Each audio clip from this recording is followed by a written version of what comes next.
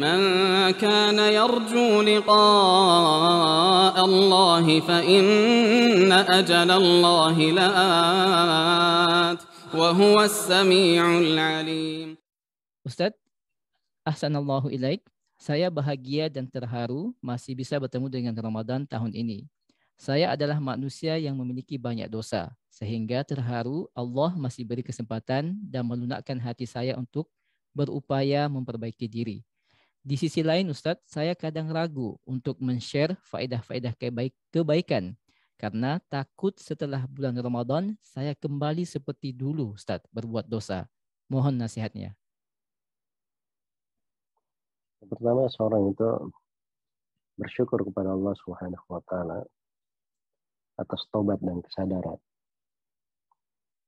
Tobat itu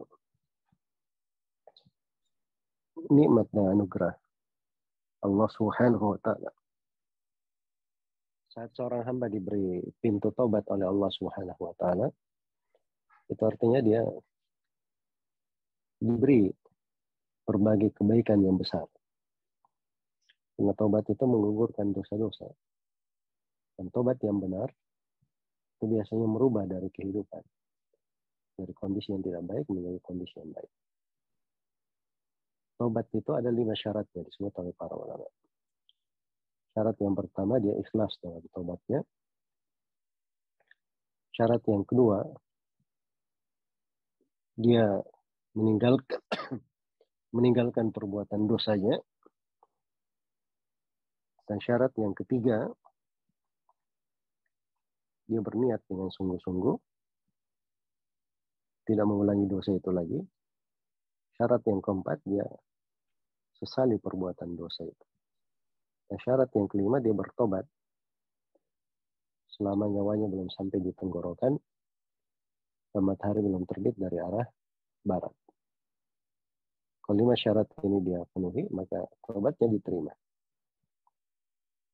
Tobatnya diterima. Karena itu kalau misalnya dia share kebaikan masih ada perasaan khawatir setelah Ramadan dia akan balik lagi itu perlu diperhatikan kesungguhan tobat. Dia harus niat sungguh-sungguh. Dia rapikan hal itu di dalam dirinya. Diperbaiki bagaimana tobatnya selengkap mungkin.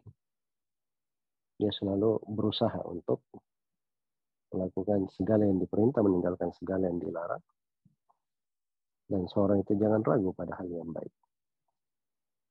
Semoga Allah memberi taufik kepada semuanya. Wallahu ta'ala Nah Ustaz, jazakallah khairan, barakallahu fiqh.